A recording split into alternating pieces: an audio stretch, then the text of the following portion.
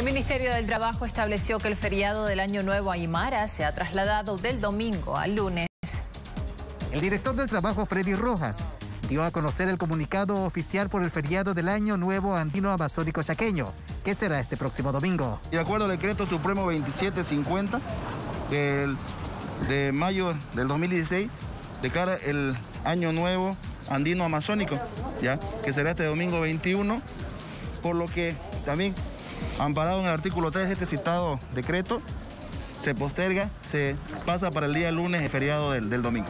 Por el feriado que se acatará el lunes, no habrán actividades y el comercio estará cerrado, informó el director del trabajo. Hacerles recuerdo que, de acuerdo a, a lo establecido en la cuarentena dinámica, las entidades territoriales son las encargadas en determinar el tema de la circulación y restricción correspondiente. Que estén eh, pendientes a lo que determine la, la, las entidades territoriales, la gobernación y el municipio para las restricciones respectivas. Aseguró que serán las autoridades a las que corresponda que determinen el día que las personas a las que correspondía salir el día lunes podrán hacerlo, porque todo estará cerrado de acuerdo a ley.